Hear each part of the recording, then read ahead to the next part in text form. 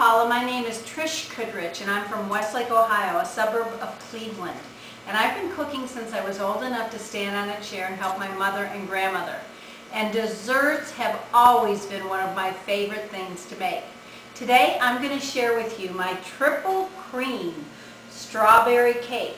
Why is it called triple cream? Well, Philadelphia cream cheese is in it three times. We're going to put original Philadelphia cream cheese in the cake mix, strawberry Philadelphia cream cheese in the filling, and original Philadelphia cream cheese in the frosting. I start off with a basic white cake mix, but I add a little bit of a twist by adding four ounces of Philadelphia cream cheese to that cake mix. I whip that first with the eggs, then I add the dry ingredients, and finish off with the wet ingredients and put it in a springform pan that is lined with parchment. I bake it for 35 to 40 minutes at 350 and this is just about cooled so we're going to go ahead and remove that and you can see what a beautiful cake we have. I'm going to let that cake finish cooling and while I do we're going to put together our fabulous strawberry filling. We're going to start off with 8 ounces of heavy, very cold whipping cream. We're going to pour that right in here. Take that in there. And we're going to start to let that whisk just a few seconds. It's going to start to thicken up just a little bit, and then we're going to add our strawberry Philadelphia cream cheese filling to that. And that is going to make that the most wonderful, rich, decadent filling. That along with our fresh sliced strawberries. So I'm going to go ahead and mix this up and I'll be back in a second.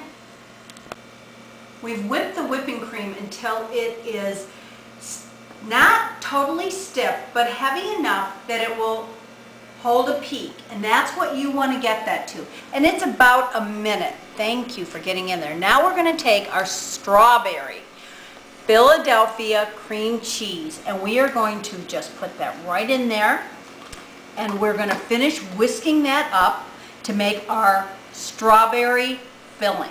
So that look at the consistency of that filling. It is beautiful.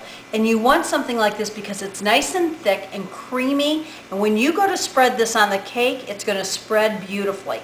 Well, we've made our strawberry cream cheese filling and it's so light and pink and fluffy and it tastes so good, just like fresh strawberries. And next we're going to make our original Philadelphia cream cheese frosting. And this is a frosting I make for everything. Cupcakes, cakes, fillings. People love this frosting with, of course, Philadelphia original cream cheese. And I have eight ounces or one package here that I have softened. And I'm going to go ahead and put that into my mixing bowl. And you want to get every bit of that wonderful goodness. Next, we are going to use our softened butter and I have one and a half sticks of softened unsalted butter. And ladies, use real butter. Don't use margarine or taste like butter. Use real butter for this recipe. All right, we're going to go ahead and you want a paddle on your mixer, not your whisk because you want to mix these and blend them thoroughly together. We are also using in this recipe one pound of powdered sugar. However, I use the powdered sugar, I add it one half cup at a time because you want a nice, rich, thick frosting, but you don't want it powdery sugar sweet. You want it Philadelphia cream cheese flavor. So we're whipping up our cream cheese and our butter, and I have it on a medium low. In the meantime, I'm going to add my vanilla. And there's another key ingredient. Use real vanilla. The fresher, the more natural the ingredients, the better your end product. So we're going to go ahead, and I have this marked to one and a half teaspoons, and I'm going to go ahead and measure that in and get that.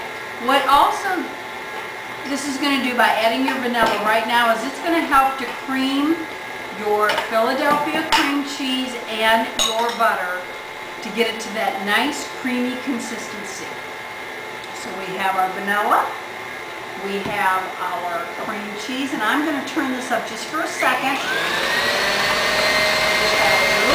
There we go. I'm going to turn that off. I want you to see the consistency of my butter and my cream cheese. Now, I'm going to add my powdered sugar, one half cup at a time, and when I'm done, I'm going to have a beautiful, rich, creamy frosting that's going to complement our strawberry cream cake. So I'm going to go ahead and finish mixing this, and then we're going to put our cake together. Well, we have finished our cream cheese frosting, our Philadelphia cream cheese frosting. And look at how nice and thick and creamy that is. Now we're going to assemble our cake. So the first thing we want to do is we want to torte or cut our cake in half. And I have a serrated knife and I'm just going to go right through and cut my cake. And ladies, don't worry if it's not perfectly even all the way across because we're going to fill this with that wonderful cream cheese strawberry filling and strawberries. There we go. Now I love the plastic cutting boards because I can lift my cake up and I can slide that top right over and move that. Little piece of cake came off, but that's okay.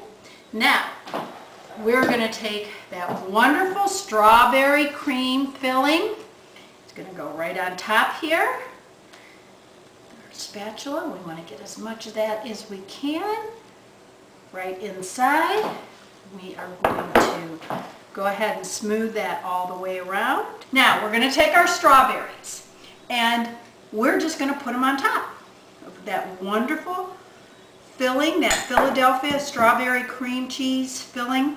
That's what's so great about the Philadelphia cream cheeses. There's so many different flavors and I've really experimented with quite a few. And this has just made making my strawberry dessert so much easier than pureeing strawberries. Now I just use this and I'm ready to go. All right, now we're going to top our cake. There we go. Next, we're going to add our frosting and finish decorating. Let's get this on. You're just going to put that on like that. And we're going to decorate and frost this cake. Don't have to worry about it being all perfectly smooth. We want it nice and creamy. Well, we have finished frosting our cake and putting our strawberries on. Now, isn't this beautiful? Don't you want to just dive right into that? I know I do. But we have one finishing touch, and that is our final strawberry in the middle. Now, I want to show you this cute little tool. It's called a shark, and I love it because I can just core my strawberry out. I'm going to take my little mint leaf and put it right here in the middle. And I'm going to put my strawberry and voila. We have a strawberry cream cake. But the best part is right now we're going to cut into this cake. So I'm going to cut a piece right here. Now I can't take a great big piece because it's my sister's birthday. And I'm sending this cake over to her when we're done here today. So, but I told her I was taking a bite. And she said that was just fine. Whoops. There we go. Okay. Look at those strawberries and that pink cream. Mmm. Well, it's a heavenly cake on a heavenly dessert plate. And it's time to taste.